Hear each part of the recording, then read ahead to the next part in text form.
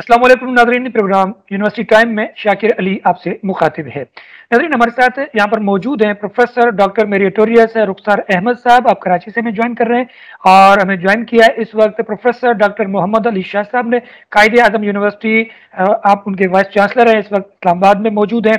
यकीन गुफ्तू करेंगे higher education के हवाले से आज का जो हमारा टॉपिक है कि किस तरीके से हम हायर एजुकेशन को बेहतर बना सकते हैं, तरबियती नशस्तें बन सकती हैं, हमारे बच्चे किस तरह आगे बढ़ सकते हैं कोलाब्रेशन कैसे हो सकती हैं यूनिवर्सिटी टू यूनिवर्सिटी और पाकिस्तान से पाकिस्तान से बाहर हम जो इंटरनेशनल यूनिवर्सिटी है, किस तरह रैंकिंग में आ सकती हैं। लेकिन इस पर हम गुफ्तु करेंगे और सबसे पहले हम प्रोफेसर डॉक्टर रुखसार अहमद की जाने, बढ़ेंगे।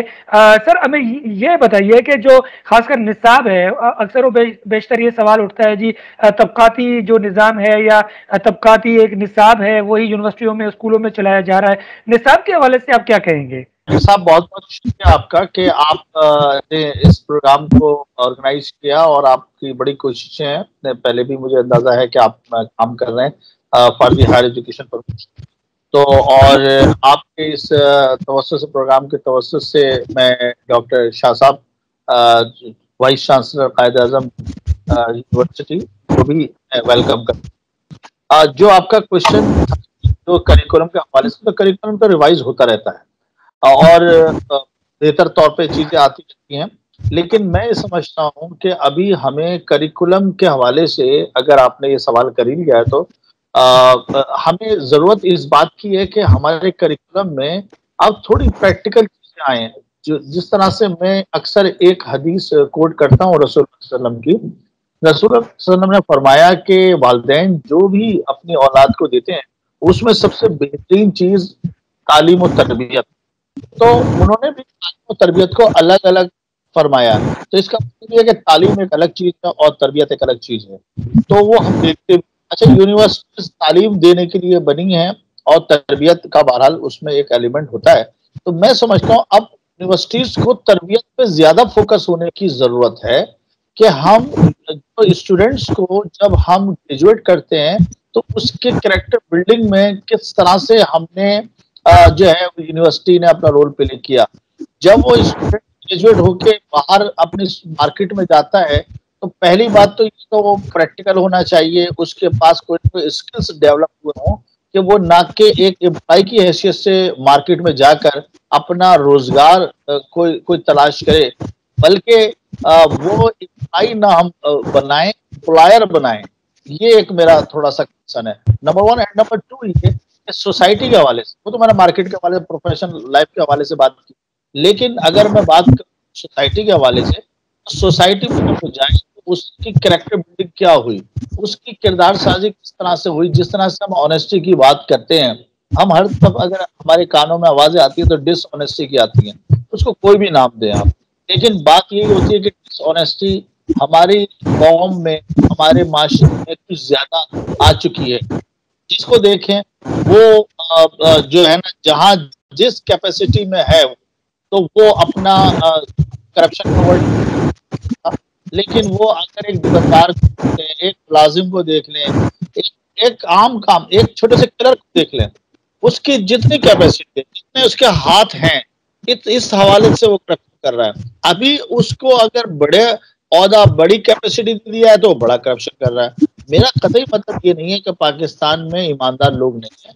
पाकिस्तान में बड़े ईमानदार लोग हैं। पाकिस्तान में इंटेलेक्चुअल हैं लाइक शाह साहब जो आज हमारे साथ वाइस चांसलर साहब जो है मौजूद हैं। तो लेकिन अब हमें हमारी यूनिवर्सिटीज को क्या ज़रूरत है किस तरह का करिकुलम होना चाहिए तो मैं समझता हूँ दो बातें उसमें। एक सोसाइटी के पॉइंट ऑफ़ व्यू से कि हम करेक्टर बिल्डिंग किस तरह से, हम किस तरह से ईमानदारी, क्योंकि आज मैं ये देख रहा हूँ कि लोगों में ईमानदारी का एलिमेंट जो है, वो वो खत्म तो नहीं हुआ, लेकिन उस पर यकीन किसी को नहीं रहा। हर आदमी समझता है कि अगर उसने तरक्की करनी है, अगर उसने आगे बढ़ना है, माल जमा करना है या कोई इज़्ज़त या कोई अहदा तो वो बेईमानी के रास्ते, दो नंबरी के रास्ते से ही वहाँ तक पहुँच सकता है। ये एक जनरल कॉन्सेप्ट है विच इज़ रॉन्ग लेकिन ये क्या है तो इसकी ज़रूरत है। जी। सही। बहुत अच्छी गुफ्तु आपने की बिल्कुल अच्छी बात की आपने। हमारे साथ मौजूद है professor doctor Mohammad university Islamabad vice chancellor. Sir पहली बात तो ये है कि कायदे आज़म जो यूनिवर्सिटी है पूरे पाकिस्तान में नंबर वन आ रही है रिसर्च के हवाले से सबसे। हम चाहेंगे कुछ यूनिवर्सिटी के बारे में बताएँ कि ऐसी क्या क्या चीज़ें हैं जिस पर पूरे पाकिस्तान को फख्र है? जी शागर साहब आपका बहुत शुक्रिया। प्रोफेसर डॉक्टर रुखसार अहमद, आपका भी बहुत शुक्रिया। देखें कायदम यूनिवर्सिटी बुनियादी तौर पे रिसर्च पे इसका फोकस है। रिसर्च की यूनिवर्सिटी है और इस्लामाबाद में ज़ाहिर है लोकेटेड है। इसके पास काफ़ी वसी ज़मीन है। इंफ्रास्ट्रक्चर बहुत अच्छा है और इसकी सबसे जो दो बेहतरीन चीज़ें एक तो जैसे मैंने आपसे अर्ज़ किया कि प्राइमरली इसके जो एम फिल और पीएचडी के प्रोग्राम हैं, या जो टीचर्स की रिसर्च है, वो बहुत ज़बरदस्त है और बड़ी एस्टेब्लिश्ड है। दूसरी इसकी जो सबसे ज़्यादा खूबसूरती है, वो ये है कि इस यूनिवर्सिटी के अंदर जो दाखिले हैं, वो ओपन मेरिट की बुनियाद पे नहीं होते, बल्कि उसमें कोटा सिस्टम है। कोटा सिस्टम का मतलब ये है कि हर मुल्क की हर इकाई से जो है वो आ, लोग दाखिल होते हैं तो ये एक इसकी सबसे ज़्यादा खूबसूरती है इस यूनिवर्सिटी की कि यहाँ पे हर पाकिस्तान के हर जो हमारा सूबाई इकाई है। तो मैं आपसे ये अर्ज़ कर रहा था कि इसका जो सबसे ज़्यादा इसकी खूबसूरती है वो ये है कि इसमें हर पाकिस्तान की इकाई का जो कोटा है तो स्टूडेंट हर पाकिस्तान के हर इलाके से यहाँ आते हैं और उनको मौका मिलता है एक तो नेशनल इंटीग्रेशन का, जो दूसरे सूबों से आए हुए बच्चे और बच्चियाँ हैं उनके साथ पढ़ने का और फिर इस्लामाबाद में आके तालीम हासिल करने का। फार फ्लांग, सिंध से, थर से, मिट्टी से, फिर के पी के के जो दूर दराज इलाके हैं, फाटा प्रीवियस फाटा था और इसी तरह कश्मीर, हर जो इलाका है, उसके बच्चे यहाँ आके पढ़ते हैं। तो ये एक हमारा जो समझे सबसे ज़्यादा मज़बूत जो एलिमेंट है, वो ये है कि यहाँ पे पाकिस्तान की हर इकाई से बच्चे आके पढ़ते हैं और वो कट्ठे उनको मौका मिलता है और यूनिवर्सिटी उनको सर्विसेज़ प्रोवाइड करती तो सर ये एक सवाल ये है कि इस वक्त इंटरनेशनल लेवल पर भी कायद आज़म यूनिवर्सिटी का एक बड़ा मकाम है बड़ा नाम है। इस वक्त ये बताइए कि इंटरनेशनल लेवल पर हायर एजुकेशन जिस तरीके से प्रमोट हो रहा है खासकर पाकिस्तान लेवल पर और भी यूनिवर्सिटियाँ हैं क्या वजह है कि वो उस रैंकिंग में नहीं आ पा रही उसकी क्या वजह है? आप क्या समझते हैं कि बजट हायर एजुकेशन कमीशन की तरफ़ से कम आ रहा है या फिर निसाब का कोई मसला है या फिर टेक्निकल कोई और इशूज़ हैं जो परेशान कन है? देखिए दो तीन दो तीन चीज़ें ये सारी चीज़ें इसमें शामिल हैं।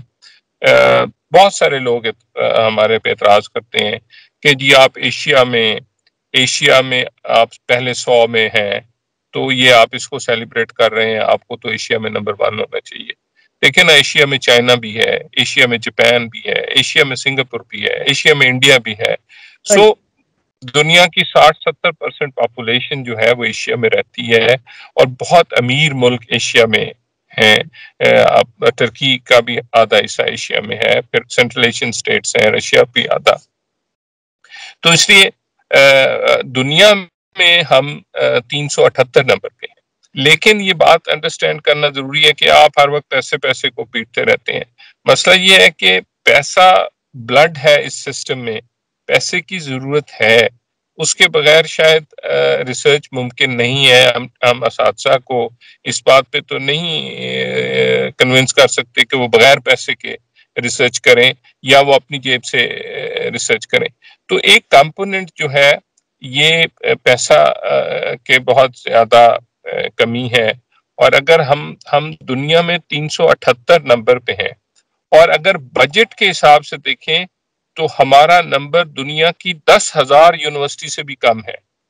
तो दस हज़ार यूनिवर्सिटी से कम बजट लेने वाली यूनिवर्सिटी दुनिया में तीन सौ अठहत्तरवें नंबर पे है। तो ये अच्छी वैल्यू फॉर मनी है। दूसरी बात आपने करिकुलम में के लिए की। अब करिकुलम में सबसे ज़्यादा इम्पोर्टेंट चीज़, जैसे डॉक्टर उखसार ने भी कहा कि किरदार साजी है। हमें अपने बच्चों के डिसिप्लिन पे फोकस करना चाहिए। देखिए हमारे जो ग्रेजुएट हैं, उनके लिए हमें तीन चार चीज़ों की ज़रूरत है। कि वो खानदा हो, वो पढ़ा लिखा, तालीम याफ्ता हो, वो स्किल्ड हो, उसको कोई काम आता हो, वो किसी सब्जेक्ट का एक्सपर्ट हो फिजिक्स का केमिस्ट्री का हिस्ट्री का पॉलिटिकल साइंस का बायोलॉजी का, वो एम्प्लॉयबल हो, उसके अंदर एक और सेंस हो और वो सेंस है कि वो अपना बिज़नेस कर सकता हो ताकि वो अगर स्टार्टअप लेना चाहता है तो यूनिवर्सिटी को, उसको भी, उसको ट्रेन करना चाहिए। और सबसे इम्पोर्टेंट कंपोनेंट जो प्रोफेसर साहब ने कहा, वो ये है कि वो बेहतरीन जिम्मेदार इंसान हो। वो मुहब वतन हो, वो दुनिया का बेहतरीन सिटीजन ऑफ़ द वर्ल्ड हो, उसको उसको अपने फ़राइज और दूसरों के हकूक का इल्म हो और ये तो हम हम, हमारे दो कंपोनेंट्स पे हमें फोकस करने की ज़्यादा ज़रूरत है। एक ये कि वो बेहतरीन इंसान हो, जिसको अनफॉर्चुनेटली हमने इग्नोर किया, अब वक्त आ गया है कि हमें अपने स्टूडेंट्स की अखलाकियात पे, उसकी ज़िम्मेदारी पे, उसको सच बोलने पे, उसकी ईमानदारी पे, उसको कोई ऐसा वादा ना करने को पे, जो कि वो पूरा नहीं कर सकता। अपने मुल्क से मोहब्बत, अपने मज़हब से मोहब्बत और दूसरों को बर्दाश्त करने का जो हमारे यहाँ आदम बर्दाश्त लेकिन एक चीज़ मैं शाकर साहब आपको बताऊँ, वो कलेक्टिव है। कलेक्टिव वो इस तरह है कि हमारे मुल्क में तलबा को यूनिवर्सिटी इंडस्ट्री लिंकेजेस के साथ हमें लिंक करना पड़ेगा। लेकिन ये हमारे पे हम मानते हैं कि हमारे से कोताही है। लेकिन शाकिर साहब, इसको अंडरस्टैंड करने की ज़रूरत है कि इस मुल्क में इंडस्ट्रीज़ बहुत कम है। इंडस्ट्रियलाइजेशन उस तरह हुई नहीं। इसलिए जो अब इस्लामाबाद की यूनिवर्सिटीज हैं, उसमें नस्ट है, उसमें इंटरनेशनल इस्लामिक यूनिवर्सिटी है, उसमें हम हैं, उसमें यूनिवर्सिटी है, उसमें अलामा इकबाल ओपन यूनिवर्सिटी है नेशनल स्किल यूनिवर्सिटी है, फिर एयर है, फिर नेशनल डिफेंस यूनिवर्सिटी है, फिर बेरिया है, ये तो सरकारी है प्राइवेट भी पच्चीस तीस है। अब आप मुझे बताएँ कि कराची तो बहुत बड़ा शहर है, बहुत बड़ी इंडस्ट्री है, मैं फैसलाबाद में पहले था, वहाँ भी बहुत बड़ी। तो इंडस्ट्री में स्टूडेंट्स को ट्रेन करना या इंडस्ट्री लिंकेजेस तब पैदा होंगी जब इस यूनिवर्सिटी के अंदर इंडस्ट्रियलाइजेशन ज़्यादा होगी। जैसे अब सी पैक आ रहा है स्पेशल इकोनॉमिक जोन आ रहे हैं इंडस्ट्रियलाइजेशन हो रही है तो हम इनशाला कोशिश करेंगे कि हम इस कंपोनेंट पे भी ज़्यादा तवज्जो दें कि वो यूनिवर्सिटी इंडस्ट्री लिंक जिससे वो वो स्टूडेंट इंडस्ट्री के लिए तैयार हों। बिज़नेस इंक्यूबेशन सेंटर हम, की मदद से हम जो तलबा अपना कारोबार करना चाहते हैं, उसके ऊपर तवज्जो दें। और एच e को चाहिए कि टीचर्स के जो यार्ड स्टिक्स हैं परफॉर्मेंस के, उसमें उन्होंने रख दिया जी, पंद्रह पर्चे होने चाहिए, पंद्रह साल का तजर्बा होना चाहिए, आप प्रोफेसर बन जाएँगे। दस पर्चे होने चाहिए दस साल का तजर्बा होना चाहिए। आप सोशल प्रोफेसर बन जाइए। लेकिन उसमें एक कंपोनेंट ऐड करना पड़ेगा कि टीचर्स ने क्या क्या काम किए स्टूडेंट्स की कैरेक्टर बिल्डिंग के लिए। ये उनकी टी में शामिल करना पड़ेगा। ये शामिल करना पड़ेगा कि टीचर्स ने क्या कायम किया जिससे सोसाइटी को फ़ायदा हुआ। कोई उन्होंने तो ये ये कंपोनेंट हम अगर ऐड करेंगे तो मुझे यकीन है कि हमारी परफॉर्मेंस श्योरली ग्रेजुअली बेहतर होगी। जी। सर एक सवाल ये है कि इंटरनेशनल रैंकिंग में, में हमारा नंबर भी अच्छा आ रहा है और बेहतरी की सूरत भी है तो आप ये समझते हैं कि निसाब का बड़ा अमल दखल है कि जिस तरह स्कूल कॉलेज और यूनिवर्सिटी में वही पुराना निसाब पढ़ाया जा रहा है सिखाया जा रहा है समझाया जा रहा है? निसाब तो शाखा सा फंडामेंटल है ना। निसाब फंडामेंटल है और निसाब को ग्रेजुअली जो है वो हमें इवॉल्व करना चाहिए उसके ऊपर काम करना चाहिए। देखें ये ये जो करिकुलम है और स्टूडेंट की बुनियाद जो है वो आ, स्कूल में बनेगी क्योंकि वो ज़्यादातर वक्त जो है आपको याद होगा किसी जमाने में तो स्कूलों में शादी पढ़ाया जाता था स्कूलों में फारसी पढ़ाई जाती थी स्कूलों में अरबी पढ़ाई जाती थी फलसफा पढ़ाया जाता था सिविक्स पढ़ाया जाता था तो हमने क्यों उसको खत्म कर दिया? इसलिए मैं ये समझता हूँ कि स्कूल लेवल पे करिकुलम और यही जो स्कूल लेवल का करिकुलम है वो भी इन्हीं पाँच छह असूलों पे मबनी होना चाहिए कि बच्चा खानदा हो तालीम याफ्ता हो उसको त, उसको वो वो उसके अंदर बर्दाश्त हो उसके अंदर तमीज हो उसके अंदर मुहब वतन हो उसको अपने पेरेंट्स से मोहब्बत हो उसको अपने इलाके से और तो और उसको हम खानदा भी बना रहे हैं, उसको हम ये कोशिश कर रहे हैं कि वो तालीम हासिल करे और एक बाशूर इंसान बने। तो अच्छा ये फिर स्कूल, सबसे ज़्यादा दस साल तो वो स्कूल में गुजारता है। दो साल वो सेकेंडरी जहाँ पे कॉलेज है, जहाँ वो ए लेवल या एफएससी करता है और फिर अब चार साल वो यूनिवर्सिटी में तो बुनियाद बहुत बड़ा रोल प्ले करेगी हमारे जो ग्रेजुएट्स हैं, उनकी क्वालिटी को बेहतर करने के लिए और उसकी जो बेसिक रूट है या वो बुनियाद है, वो करिकुलम है जो हम पढ़ाते तो सर, एक एक शाह एक एक आपसे अहम सवाल है कि तमाम पाकिस्तान की यूनिवर्सिटियाँ जो 200 से ज़्यादा, जायद हैं अगर ये तमाम वाइस चांसलर्स आपस में मिलें और हर तीन महीने के बाद छः महीने के बाद आपस में आइडियाज़ शेयर करें, कोई कॉन्फ्रेंस हो इनकी और यहाँ वाइस चांसलर के अलावा जो यूनिवर्सिटी फिर कोई अवार्ड तकरीब रखे अपने स्टूडेंट्स के लिए तमाम मुश्तर क्या ऐसा कुछ मुमकिन हो सकता है? आप समझते हैं ये बेहतर की सूरत बन सकती है जी, ये है ये है और इतफाक से जो पाकिस्तान की वाइस चांसलर्स कमेटी है, मैं उसका चेयरमैन हूँ और चूँकि पुराने कुछ दौर में एचसी में कुछ ऐसी लीडरशिप आई जिसने वाइस चांसलर्स को या स्टेक होल्डर्स को ऑन बोर्ड नहीं किया। लेकिन अब हम सारे ऑन बोर्ड हैं और सारे वाइस चांसलर्स मिल के बैठते हैं और हम अब सारे मिल के हमने कमेटीज बना दी हैं और इनशाला हम दो दिन की कॉन्फ्रेंस भी कर रहे हैं जिसमें हम सारे इन पर्सन थोड़ी सी कोविड की सिचुएशन बेहतर हो जाए। तो उसमें हम अंडर के करिकुलम को भी दोबारा सारे को रिवाइज करेंगे और सबकी मशावरत से जो अंडर का करिकुलम है उसको बेहतर करेंगे।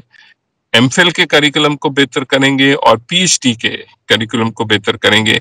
और सर्टली ये भी सवाल है कि जी हम तो हायर एजुकेशन की बात करते हैं, चूँकि हमारा लिंक हायर एजुकेशन से है। लेकिन जो आपका बुनियादी सवाल है कि जब स्कूल का करिकुलम डिज़ाइन हो रहा हो तो उसमें भी वाइस चांसलर्स की इनपुट लेनी चाहिए। और जब यूनिवर्सिटीज का करिकुलम डिज़ाइन हो रहा हो तो उसमें स्कूल के इस और प्रिंसिपल्स और कॉलेज के साथ और प्रिंसिपल उनको भी ऑन बोर्ड करना चाहिए। जब तक ये लिंक नहीं मेंटेन होगा हम एक अच्छा करिकुलम डिज़ाइन नहीं कर सकते। तो सर आपके पास शाह साहब क्या आइडियाज़ हैं जिसके तहत हम नेशनल लेवल और इंटरनेशनल लेवल पर हर एजुकेशन को लेके जा सकते हैं एज ए तरबियत? देखिए ना मैंने तो ऑब्जेक्टिव्स आपको बताया ना कि पहले अपने गोल सेट करें। कि आप अपने नौजवानों को तालीम में देना क्या चाहते हैं? अच्छा जब आपने गोल सेट कर लिए तो उसके बाद फिर आपने उन गोल्स को अचीव करने की कोशिश की। मैं तो यही कह रहा हूँ कि मेरे हिसाब में जो गोल्स हैं वो यही होने चाहिए कि वो खानदा हो वो पढ़ा लिखा हो वो किसी एक सब्जेक्ट का एक्सपर्ट हो वो एम्प्लॉयबल हो वो स्किल्ड हो और सबसे इंपॉर्टेंट चीज़ कि वो एक जिम्मेदार शहरी हो जो कि मुहब वतन हो जिसको अपने मज़हब से मोहब्बत हो जिसको अपने वतन से मोहब्बत हो, जिसको, जिसके अंदर दूसरों को बर्दाश्त करने की हम सलाहियत रखें। क्योंकि हर किसी को अपनी इज़्ज़त करना आती है, लेकिन जब आप दूसरों को इज़्ज़त करना सीखते हैं तो वो बेहतरीन लोग हैं। तो सबसे पहले हम अपने ऑब्जेक्टिव्स को सेट करें और फिर उन ऑब्जेक्टिव्स की मदद से, देखें ना, हमारे यहाँ आदम बर्दाश्त है सब रीजनलिज्म है, हम फिरका वारियत का शिकार हैं, हम मुख्तलिफ़ कौमियतें रखते हैं, हमारी ज़ात पात का मसला है। तो इस्लाम तो ये कहता है कि इज़्ज़त का मैार इल्म तकवा होना चाहिए। तो हमें, हम क्यों नहीं लोगों की इज़्ज़त, इल्म और तकवे की बुनियाद पे करते? हम अपने बच्चों को ट्रेन क्यों नहीं करते कि अगर उन्होंने किसी की इज़्ज़त करनी है तो वो उसकी बड़ी गाड़ी या शान शौकत को देख के ना करें? अच्छा ये चीज़ अगर अगर हम कर लेंगे तो आप ये देखिएगा करप्शन भी कम हो जाएगी। क्योंकि लोगों को लोगों को परवाह ही नहीं होगा। मगरब में उन्होंने ऐसे किया। वहाँ तो कहते हैं big car sick mind meaning they buy के कार आप अपनी, अपने लिए लेते हैं ना, पाकिस्तान में तो कार आप लोग, लोगों को दिखाने के लिए लेते हैं। और उससे फिर मल्टीपल कॉम्प्लेक्सेस शुरू हो जाते हैं कि जी फलां के पास तो फलां गाड़ी है, फलां के पास तो फलां मरात हैं। और फिर हम हुक और बाइक रुक उन मरात को अचीव करने की कोशिश करते हैं। तो हमें कनात पसंद होना चाहिए। हमें, देखें हज़रत अली से किसी ने पूछा था कि सबसे बड़ी इंसान की खूबी क्या है? तो उन्होंने कहा तशक्र शुक्र अदा करें अल्लाह का कि अल्लाह ताला ने आपको क्या दिया है? आपको सेहतमंद बनाया है, शक्ल कैसे दी है आपको कि तो हम अनफॉर्चुनेटली देखिए हम माने या ना माने, हमें अपने प्रॉब्लम को आइडेंटिफाई करना पड़ेगा। और आइडेंटिफाई करने के बाद अपने ऑब्जेक्टिव्स बनाने पड़ेंगे और फिर अपने करिकुलम को, अपने इस की ट्रेनिंग करनी पड़ेगी उस करिकुलम को, के को, के जो ऑब्जेक्टिव्स हैं उनको अचीव करने। हमारे, मैं ये कह रहा हूँ, मेरे समेत हमारे अंदर भी कोताही है।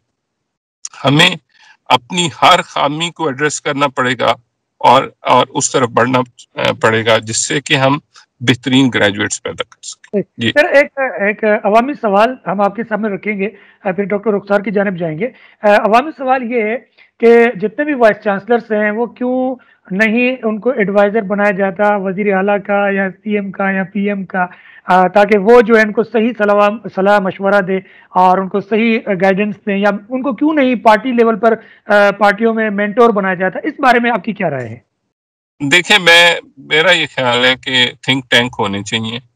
हर पार्टी में पॉलिटिकल पार्टीज़ में भी होने चाहिए और गवर्नमेंट में भी होने चाहिए, वज़ीर अला के पास भी होने चाहिए, वज़ीर अजम के पास भी होने चाहिए और वो स्पेसिफिक थिंक टैंक्स होने चाहिए और उन थिंक टैंक्स के से सिर्फ़ मतलब मुझे तो चूँकि मैं इस्लामाबाद में हूँ, मुझे बहुत मौका मिलता है, मैं मुख्तलिफ़ जगह पे अपनी जो इनपुट देता हूँ, लेकिन ये इनपुट बहुत ब्रॉडर होनी चाहिए। और वो बेशक हेल्थ है। अभी आप देखें कि कोरोना है, इतना बड़ा पेंडेमिक है इन्फेक्शियस डिज़ीज़ हैं। हमारे मुल्क में बहुत सारे वाइस चांसलर हैं मेडिकल यूनिवर्सिटीज को हेड कर रहे हैं इन्फेक्शियस डिज़ीज़ के एक्सपर्ट हैं। तो मैं ये आपकी बात ठीक है और आपकी वसादत से मैं भी इस बात को एग्री करता हूँ कि थिंक टैंक होने चाहिए। पार्टीज़ पॉलिटिकल पार्टीज़ उससे ये होगा कि उसमें उसमें भी फिर थिंक टैंक्स की वजह से बर्दाश्त बढ़ेगी। आप इख्तलाफ राय को एक ऑनेस्ट तरीके से, एक रिस्पेक्टेबल तरीके से जो है, उसको पोर्ट्रे करें। आप अल्फाज का इस्तेमाल अच्छा करें। आप लैंग्वेज अच्छी इस्तेमाल करें क्रिटिसाइज कि ये जी फलां शख्स की ये पॉलिसी गलत है, उसमें ये खामी है। लेकिन आपने जो लहजा या जो ज़ुबान या जो लैंग्वेज इस्तेमाल करनी है वो उसका उसका चुनाव बहुत ज़्यादा ज़रूरी है क्योंकि वो ट्रिकल डाउन होता है, वो फिर यूथ के ऊपर आता है। तो इसलिए जो आप कह रहे हैं कि वो वाइस चांसलर्स हों, वो इंटेलेक्चुअल्स हों, वो मीडिया से लोग हों, वो मुख्तलिफ़ साइंस के हों, मुख्तलिफ़ शोबाए ज़िंदगी के लोग, उनको हकूमत का भी मशावरती आप देख लें कि अमेरिका में सारे सेक्रेटरी ऑफ़ स्टेट्स जो हैं, वो साइंटिस्ट हैं, वो प्रोफेसर हैं, वो लॉयर्स हैं, वो वाइस चांसलर्स हैं प्रेसिडेंट्स ऑफ़ द यूनिवर्सिटी हैं, वही बनते हैं। और बरतानिया में भी इसी तरह है, यूरोप में भी इसी तरह है। तो यस अगर हम इस माशरे की असलाह करना चाहते हैं तो पार्टीज़ को भी गवर्नमेंट्स को भी, और जो बाकी हमारा, जो जहाँ से फैसले होते हैं, वहाँ पे थिंक टैंक होना और उनसे मुशावरत करना बहुत ज़रूरी है। बिल्कुल, आपने अच्छी बात की है, बल्कि प्रोफेसर डॉक्टर रुखसार अहमद साहब मेरे टूरिस्ट भी हैं और एक ला यूनिवर्सिटी को आप देख रहे हैं इस वक्त मतलब किताबों भी आप लिख चुक, लिख चुके हैं और साथ में जर्मनी से बल्कि पब्लिश भी हुई है, आपने हमें बताया। आप तो मेंटोर भी हैं मुख्तु जगहों पर आप जाते हैं स्पीच भी देते हैं लेक्चर भी करते हैं। मुझे एक ये बताइए कि ये किस तरह मुमकिन हो सकता है, जिस तरह सर ने बहुत अच्छे तरीके से बात की है कि जो मेंटोर हैं या जो दानश्वर हैं, जो वाइस चांसलर्स अगर बन जाएँ इस तरीके से एडवाइजर्स ताकि हमारे, एक जो माहौल, माशरा कल्चर सोसाइटी बेहतर हो जाए, इसके बारे में आपकी क्या राय है? शाकिर साहब, पहली बात तो ये कि मैं बड़े गौर से शाह साहब की बातें सुन रहा था। और बड़ी इसमें लर्निंग भी है, क्योंकि आपने जो एक इशू निसाब का करिकुलम की बात की थी, और जिसके पीछे वजह ये थी कि हम सोसाइटी को किस तरह से चेंज कर सकते हैं, और जो भी हमारी खामियाँ हैं बहरल हर सोसाइटी में होती हैं तो इस सोसाइटी में भी हैं तो हम कुछ उसको कैसे दूर करें? और जो एक माइंडसेट है, जो एक, वो कैसे चेंज करें? तो उसका पूरा road map doctor Mohammad Shah साहब ने बड़े तरीके से और बहुत अच्छे अंदाज से उस सारे सोल्यूशंस दे दिए हैं। तो क्या अगर आप इसकी रिकॉर्डिंग जब डालेंगे तो अगर इसको लिख लिया जाए और वो रोड मैप जो इन्होंने बताए हैं बड़े मुख्तर अंदाज में लेकिन बड़े जामे हैं कि तो किस तरीके से अखबार में डाल दें कैसा रहेगा? मैं थोड़ा सा कंप्लीट कर लूँ अपनी बात अगर आप इजाज़त दें। तो डॉक्टर साहब के जो जो सोल्यूशंस दिए बेसिकली इन्होंने इन्होंने बताया कि किस तरह से एक प्राइमरी एजुकेशन से सेकेंडरी एजुकेशन से अगर आप करियर बिल्डिंग करना चाहते हैं, अगर आप करिकुलम को बेहतर करना चाहते हैं तो वहीं से करिकुलम बेहतर होगा। क्योंकि यूनिवर्सिटी में जो बच्चा आता है, वो काफ़ी ज़्यादा एक मैच्योर एज में इस तरह से कहूँगा कि वो मैट्रिक इंटर के बाद आता है। तो इस लेवल पर उसकी करियर बिल्डिंग होनी चाहिए। आप जो भी इसमें इनपुट देते हैं बच्चे को उसका यकीनन जो है वो यूनिवर्सिटी में अगर उसका जो भी कुछ उसने हासिल किया सीखा है तो वो उसको चेंज करना यूनिवर्सिटी लेवल पर मुश्किल होगा। और वो भी डॉक्टर साहब ने खुद ही बता दिया मैं बहुत सारी बात मैं कहना चाहता था डॉक्टर साहब ने कह दी है तो वो तो मेरी अच्छा डॉक्टर साहब ने बहुत मुझे बड़ी खुशी हुई है कि मैंने इस, इस टॉपिक पे बहुत सारे इंटेलेक्चुअल से बात की है। और बहुत अच्छी अच्छी मुझे उसे मिले। लेकिन जिस तरीके से उन्होंने पूरा एक, एक मैंने कहा ना रोड मैप दिया है कि इस इस तरह से कर लें तो चीज़ें बेहतर हो जाएँगी। और जैसे अभी हमें देखिए ना हम यूनिवर्सिटी से एक्सपेक्ट करते हैं। आ, मैं भी बहरहाल एक यूनिवर्सिटी में आ, दो यूनिवर्सिटी में एक्टिंग वाइस चांसलर रहा हूँ और मैं पाँच छह यूनिवर्सिटी में डीन की पोजीशन पे मैं रहा हूँ और फाउंडिंग डीन रहा हूँ दो तीन जगहों पर। तो ये लोग एक्सपेक्ट करते हैं यूनिवर्सिटी से यूनिवर्सिटीज जो है ना तो कहीं ना कहीं वो सही भी है, लेकिन बहरहाल जब करिकुलम की बात आती है तो हमें जहाँ पर स्कूल का करिकुलम बनता है, डॉक्टर साहब ने बड़ी ज़बरदस्त बात की कि वाइस चांसलर उसको उसमें शामिल किया जाए। और वही बात आपने भी कही कि हकूमती सतह पर किस तरह से एडवाइजर जो है वो वाइस चांसलर हो, क्योंकि आपने सही लोगों का इंतखब किया क्योंकि वाइस चांसलर की जो पोजीशन पर लोग पहुँचते हैं, वो एकदम नहीं पहुँचते कि जी वो आ, किसी भी तरह से कोई एक डिग्री हासिल कर ली तो वहाँ पहुँच गए या कोई एक ये एक पूरा प्रोसीजर के तहत पहली बात तो वो प्रोफेसर की पोजीशन पर पहुँचते हैं। फिर ये कि उनका एक एक्सपीरियंस होता है। यूनिवर्सिटी का वाइस चांसलर अकाबरीन में आ, से में शामिल होता है और उसको तस्वर किया जाता है। और ये वो इंटेलेक्चुअल होते हैं जो बहुत आप देखें ना कि अगर आबादी का इसका परसेंटेज निकालें तो किस कितना परसेंट आता है ये आप भी देख सकते हैं। तो ऐसे लोगों को हुकूमत कभी भी कोई पॉलिसी बनाए या कोई भी काम करे तो इनकी शमूलियत जो है, वो वैल्यू एडेड होगी। वो उसमें एक निखार आ जाएगा, बेहतरी आ जाएगी और वो मैं नहीं समझता कि कभी भी उसका कोई फेलियर सामने आएगा, क्योंकि इन लोगों के जो तजर्बात होते हैं, वो नेशनल भी होते हैं इंटरनेशनल भी होते हैं।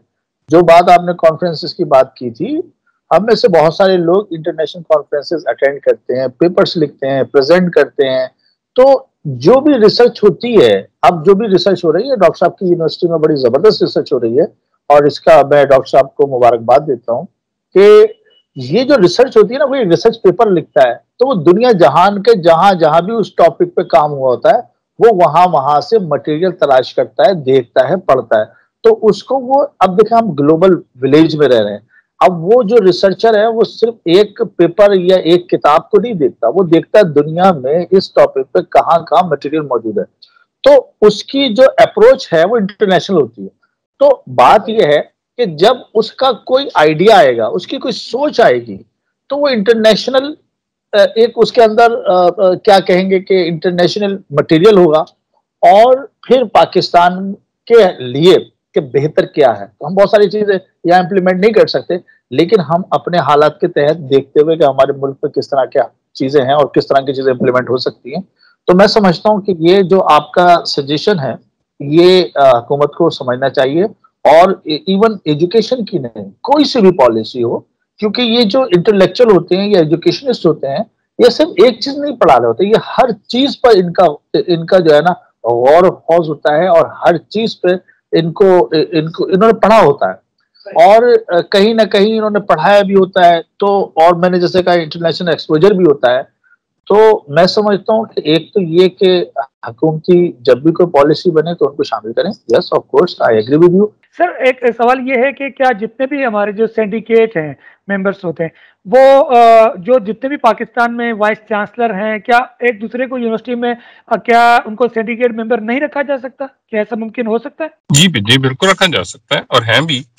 और ये देखें ये जो आपने बात की डॉक्टर साहब ने भी बात की कि यूनिवर्सिटीज के जो सिंडिकेट्स हैं, उनको भी प्रोफेशनल होना और बहुत ही जो है वो इस इस सतह के लोग हों, जो कि सिर्फ़ आके मीटिंग अटेंड करके चले ना जाएँ, वो एक पॉलिसी इनपुट देने की अहलियत रखते हों।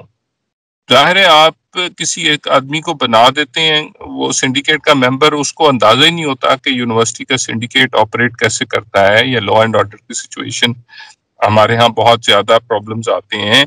हमारे यहाँ करिकुलम है एकेडमिक्स हैं रिसर्च हैं हमारी एकेडमिक काउंसिल्स होती हैं पीएचडी की पॉलिसीज़ हैं। और जैसे हमने कहा कि हम मुख्तलिफ़, मिसाल के तौर पे अभी जो डॉक्टर साहब ने एक बात कही उसमें यह है कि यूनिवर्सिटीज की रैंकिंग को और बेहतर करने के लिए इंटरनेशनलाइजेशन की ज़रूरत है। मीनिंग देर बाय कि हमें इंटरनेशनल स्टूडेंट्स को यहाँ लाना है, यहाँ से स्टूडेंट्स को बाहर भेजना है टीचर्स को लाना है और हमने ये देखा है कि कोई भी ऐसी क्लास जिसमें मुख्तलिफ़ नेशनैलिटीज के बच्चे होते हैं, उनके लर्निंग आउटकम बहुत बेहतर होते हैं। तो एक चीज़ जो हमें मजीद असलाह की ज़रूरत है या बेहतर करने की ज़रूरत है, वो हमारी जामियात की इंटरनेशनलाइजेशन है। और इन सारी चीज़ों को करने के लिए हमें ऐसे लोग सिंडिकेट में चाहिए जो तजर्बा भी रखते हों और जो अहलियत भी रखते हों और जिनकी सोच मुस्बित हो कि हमने सिस्टम को बेहतर करने के लिए सबने कैसे चलना है। तो आपकी बात सही है कि इन लोगों को होना चाहिए, हैं भी लेकिन फर्दर इनका जो नंबर है उसको बढ़ाया जा सकता है। डॉक्टर साहब इसी बात को आपके सामने रखेंगे क्योंकि सर ने बहुत अच्छी रोशनी डाली है। आप इस बात पे अगर कुछ कहना चाहें। आ, बिल्कुल। अच्छा अब जो आ, ये करिकुलम के हवाले से और ये पॉलिसीज़ के हवाले से एक बात हो गई है। अब मैं बात ये करूँगा कि मैं डॉक्टर साहब से डॉक्टर साहब भी वाइस चांसलर कमेटी के चेयरमैन हैं। मैं अपने तौर पर मैं एक अपने जाती उसमें सत्य पर बात कर रहा हूँ जाती हैसियत में कि पाकिस्तान में जो जो भी चैलेंजेस हैं वो सबके सामने हैं। सबसे बड़ा चैलेंज ये है कि डिसऑनेस्टी हमारे सोसाइटी में बहुत बढ़ गई है जिसको दूसरा नाम करप्शन का भी लिया जाता है। मैं अक्सर ये बात कहता हूँ कि हाँ, पाकिस्तान में अगर कोई दुकानदार है कोई काम करने वाला कारीगर है कोई डॉक्टर है कोई वो अपनी सतह पर अपने लेवल पर जितनी उसकी कैपेसिटी है वो उसमें डिसऑनेस्टी से काम कर रहा है, यानी करप्शन का मौका उसको मिले, वो करता है। मैं ये नहीं कह रहा कि हम, हमारी कौम करप्ट है, हम में बहुत ईमानदार लोग हैं और बहुत अच्छे अच्छे लोग हैं। मैं ये बात नहीं कि सामने बात तारीफ़ कर रहा हूँ, डॉक्टर साहब जैसी शख्सियात जो यूनिवर्सिटीज को हेड कर रहे हैं, वो वो एक मिसाल है। तो इसमें कोई शक नहीं है कि बड़े अच्छे अच्छे लोग भी हैं, लेकिन हम बात करते हैं, जब भी तो मेजोरिटी की बात करते हैं। मेजोरिटी में एक, और एक कॉन्सेप्ट जो एक जनरली पूरे पाकिस्तान में फैला हुआ है कि जी, ईमानदारी से तो कोई आदमी तरक्की कर ही नहीं सकता, पैसा तो कोई कमा ही नहीं सकता, दो नंबरी के बगैर तो कहीं आदमी तरक्की नहीं कर सकता। ये जो कि कॉन्सेप्ट गलत है, मैं जब भी बड़े इंटेलेक्चुअल से मिला हूँ कामयाब लोगों से मिला हूँ बड़े बिजनेसमैन से मिला हूँ जिन्होंने अपनी ज़िंदगी में बहुत कुछ किया है तो उनसे जब भी मैंने बात की है तो उन्होंने मुझे यही बताया कि ईमानदारी का ही रास्ता है। अगर हमने तरक्की की है तो ईमानदारी की बुनियाद पर। तो ये तो एक वो लोग हैं जो कहते हैं जिन्होंने किया है। और जनरल कॉन्सेप्ट ये है या ये कहने के मिसकॉन्सेप्शन है। तो इस चीज़ को खत्म करने की ज़रूरत है तो किस तरह से हमारी यूनिवर्सिटीज जो है ना ये रोल अदा कर सकती है? दूसरी बात ये कि जो इमेज हमारे मुल्क का है उसको इमेज को हमारी ये एक्सलेंट कॉम है एक्सलेंट मुल्क है लेकिन उस इमेज को हम बेहतर कैसे करें? हमारे जो जो यूनिवर्सिटी लेवल पे जो यूथ है तो हम क्या करें? क्या हमारी, वैसे डॉक्टर साहब ने बड़ी अच्छी स्ट्रेटेजीज बताई हैं, बहुत अच्छे सॉल्यूशंस सामने रखे कि ये ये ये ये काम करें। ये ये चीज़ें हों तो हम इससे अपना ऑब्जेक्टिव अचीव कर लेंगे। तो मेरा एक ये भी है जहन में कि किस तरह से हम अपने मुल्क की इमेज को बेहतर बनाने में क्या किरदार हमारी यूथ जो है, वो करे और हम ही उनको एक जो है वो क्या कहेंगे गाइडलाइंस तो हमने ही उनको प्रोवाइड करनी तो हम गाइडलाइंस प्रोवाइड करने में क्या रोल अदा कर सकते हैं? बिल्कुल सर आखिरी सवाल सर मोहम्मद शाह साहब से। आ, सर एक ये है कि जिस तरह फेडरेशन के लोग चैम्बर ऑफ़ कॉमर्स के लोग डेलीगेशन बना के बिन मालिक जाते हैं लेकिन उनके साथ कोई मीडिया का आदमी नहीं होता उनकी चीज़ें मंदिर यहाँ पर नहीं आ पाती तो क्या हुआ? क्या यूनिवर्सिटी के वाइस चांसलर से और यूनिवर्सिटियाँ इतना कुछ कर रही होती हैं इतना काम कर रही होती है नेशनल लेवल इंटरनेशनल लेवल पर भी? तो उनको मीडिया पर नहीं आया जा, लाया जाता या वो ये तो यूनिवर्सिटियों को खुद भी देखना चाहिए। तो क्या आप इस तरफ़ कोई तवज्जो है कि जो जो छोटी छोटी चीज़ें भी वो सामने आ सकें या इस तरह का कोई टीवी चैनल हो यूनिवर्सिटी के नाम से जिससे तमाम वाइस चांसलर अपने प्रोग्राम्स करें रेडियो के एक मुश्तर का कोई दूसरा रेडियो पाकिस्तान है इस तरह से कोई एक चैनल बना दिया जाए तमाम 200 यूनिवर्सिटियों को कनेक्ट किया जाए क्या इस तरह से कुछ हो सकता है? बहुत ही ज़बरदस्त आइडिया है आपका क्योंकि हमारे अपने चैनल्स तो हैं रेडियो चैनल्स भी हैं, और हम अपने शॉर्ट वीडियोस वगैरह जो मीडिया स्टडीज़ के डिपार्टमेंट हैं, वो भी बनाते हैं, लेकिन मीडिया बहुत अहम किरदार अदा कर सकता है हमारी डायरेक्शंस को सेट करने में अचीव करने में, और हमें, हमारे पे एक वॉच डॉग का कॉन्सेप्ट भी रखने, हमारे पे नज़र तो ये हकूमती सतह पे ये बहुत ही इम्पोर्टेंट चीज़ है कि अगर एक ऐसा चैनल है, जो नेशनल चैनल है, जिसको एच से या हुकूमत की एजुकेशन की वजारत से ऑपरेट किया जाए और वो एक्सक्लूसिव हो इस चीज़ के लिए कि जैसे हमने करिकुलम अभी सिंगल नेशनल करिकुलम आया है और साइंस एंड टेक्नोलॉजी में हमें किधर रिसर्च करनी चाहिए? मेडिकल साइंस में किधर करनी चाहिए? एनवायरनमेंट में किधर करनी चाहिए? सस्टेनिंग सस्टेनेबल डेवलपमेंट गोल्स के बारे में हमें किस तरह काम करना चाहिए?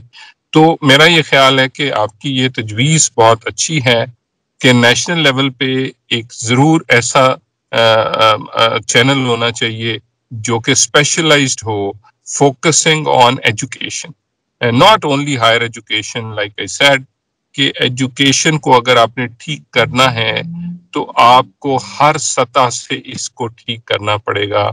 और अपने, मैं एक चीज़ और आपको वाजे करता चलूँ कि हमें प्राइवेट स्कूल्स के ऊपर जो है, वो तनकीद नहीं करनी चाहिए। वो जो काम कर रहे हैं, उनको करने दें। लेकिन हमें अपने सरकारी स्कूल्स का, के लेवल को इतना बेहतर कर देना चाहिए कि माँ बाप अभी यूनिवर्सिटीज में, शाकिर साहब, मैं आपको यकीन दिलाता हूँ कि आप, आज भी पेरेंट्स की फ़र्स्ट चॉइस सरकारी यूनिवर्सिटीज हैं। तो फिर ऐसा क्यों नहीं है कि हमारे जो स्कूल्स हैं, उनको हम, हमारे, और मैं आपको एक और बात बताऊँ कि हमारे स्कूल के इस की तनख्वाह प्राइवेट स्कूल के इस से ज़्यादा है। और हम चूँकि कोई उसके ऊपर क्वालिटी एश्योरेंस नहीं है चेक एंड बैलेंस नहीं है तो मैं ये समझता हूँ कि हमारे जो सरकारी स्कूल हैं, उनके मैार को इतना बुलंद करना चाहिए कि प्राइवेट स्कूल वो पेरेंट्स जिनके बच्चों का दाखला सरकारी स्कूल में हो जाए तो वो प्रेफरेंस करें सरकारी स्कूलों को। प्राइवेट स्कूल्स को अगर हम ये इनको, उससे कोई फ़ायदा नहीं होगा। हमें अपने प्राइवेट पब्लिक स्कूल्स को बेहतर करना है और ये जो आप कह रहे हैं कि ये बिल्कुल एक टीवी चैनल होना चाहिए, जिसमें स्कूल एजुकेशन, जिसमें सेकेंडरी एजुकेशन और जिसमें के यूनिवर्सिटी की एजुकेशन के बारे में, उसकी पॉजिटिविटी और आई डोंट माइंड मैं मैं ये भी समझता हूँ कि आप लोगों को हमारी, हम पे तनकीद भी करनी चाहिए। तनकीद हमेशा इसलाह के लिए होती है और हमारे अंदर इतना जर्फ होना चाहिए कि हम तनकीद को बर्दाश्त करें और अपने आप को उसकी रोशनी में करेक्ट करें या आपको कन्विंस करें कि जनाब, शायद आपकी अंडरस्टैंडिंग में कोई कमी है तो हमें बिल्कुल मीडिया के साथ कनेक्टेड रहना चाहिए चैनल हमारा होना चाहिए और मीडिया की तनकीद को अप्रिशिएट करना चाहिए। बहुत शुक्रिया सर। बिल्कुल हम आखिर में पैगाम लेंगे। डॉक्टर रुखसार अहमद साहब से कोई पैगाम देना चाहें। पैगाम तो डॉक्टर साहब से लें ये बहुत अच्छे अंदाज में आपको पैगाम देंगे। बस मैं तो दो, दो लफ्जों में अक्सर जो बात कहता हूँ अब वो आपने कहा तो बस मैं यही कहूँगा कि पाकिस्तान की तामीर करें पाकिस्तान से मोहब्बत करें और खलूस के साथ करें। कोई पैगाम देना चाहें? शाकिर साहब मुझे मैं मेरा ताल्लुक पंजाब से है जंग ज़िले से है और मुझे बहुत ज़्यादा सूफीज़म का जो है वो शौक है सूफी मैं लिटरेचर पढ़ता हूँ। तो हज़रत बाबा फरीद गन शक्कर का एक आ, कलाम है वो वो ही मेरा पैगाम है कि कोई बन गया जीनत पखियाँ दी कोई छड़ के शीश महल चलिया कोई पल्लिया नास ते नखरियाँ दा कोई रेत गरम ते थल चलिया कोई भुल गया मकसद आवन दा कोई कर के मकसद हल चलिया इथे हर कोई फरीद मुसाफिर है कोई अज चलिया कोई कल चलिया ज़िंदगी आपको एक दफ़ा मिली है आप उस ज़िंदगी को इस मिसाली तरीके से गुजारें कि आप अपनी ज़िंदगी का मकसद हल करके इस दुनिया से बहुत शुक्रिया, प्रोफेसर डॉक्टर मोहम्मद अली शाह साहब, वाइस चांसलर थे कायद आज़म यूनिवर्सिटी। बहुत उमदा गुफ्तु की, बहुत ही शानदार की, प्रोफेसर डॉक्टर रुखसार अहमद साहब, आपका भी बेहद शुक्रिया। आपने भी अच्छी गुफ्तु की और हमारी रहनुमाई की। आज सवाल भी अच्छे थे और जवाब भी बहुत अच्छे थे, शानदार थे और गुफ्तु अच्छा सिलसिला रहा। बिल्कुल सूफी अजम तो हमारा एक वतीरा है, एक एक रास्ता है, जिसके ज़रिए हम बहुत सारे अपने मामला को आसानी के साथ रूहानी तौर पर हल कर सकते हैं। बिल्कुल ये गुफ्तु आज की जो है मशल राह है, और अगर हम इस पर चलेंगे तो यकीन हमारी रहनुमाई हो सकती है। प्रोग्राम यूनिवर्सिटी टाइम्स से शाकिर अली को दीजिए इजाज़त, फ़ी अमान